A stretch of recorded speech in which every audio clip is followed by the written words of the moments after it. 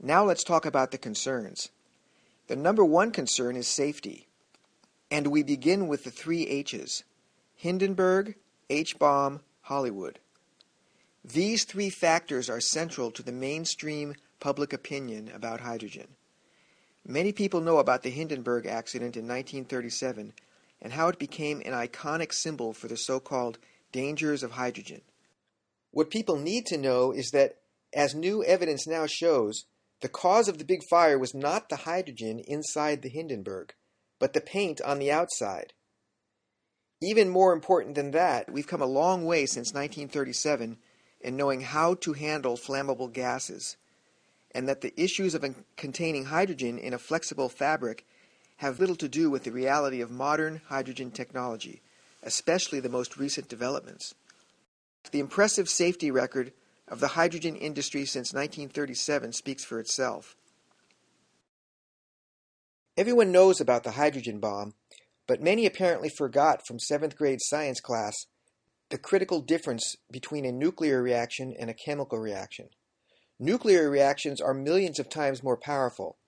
When we talk about using hydrogen to store renewable energy, we're talking only about using chemical reactions. The only way a nuclear fusion reaction like the H bomb can even occur is in the presence of extreme heat, like 100 million degrees, which it gets by first detonating a conventional fission atomic bomb. Finally, there's Hollywood, which seems to take every opportunity possible to falsely portray hydrogen as the most explosive and dangerous substance there is. They do it over and over again. The latest James Bond film gives us a bad guy with a secret fortress in the desert that is entirely powered by hydrogen fuel cells. James Bond shoots one bullet into a large hydrogen tank and a massive explosion occurs, destroying the entire complex. This is laughable and completely unrealistic.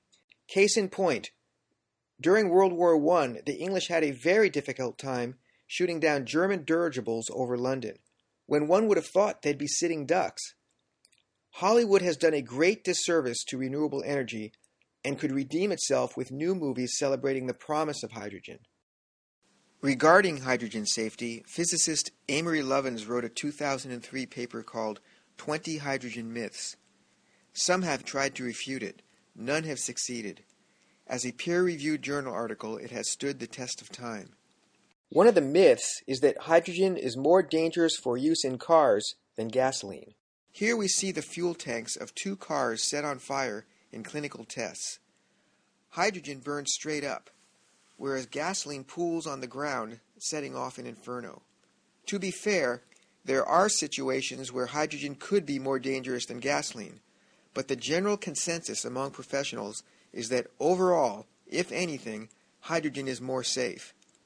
Fact if the tanker truck crash that caused the Oakland freeway meltdown in 2007 had been carrying hydrogen instead of gasoline, the flame would have gone straight up and the freeway would not have collapsed. Modern technology has pretty much solved the hydrogen safety issues.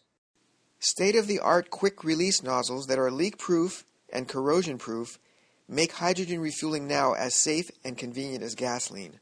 Carbon fiber tanks that can withstand dynamite and close range gunshots virtually eliminate the possibility of fires or explosions on cars.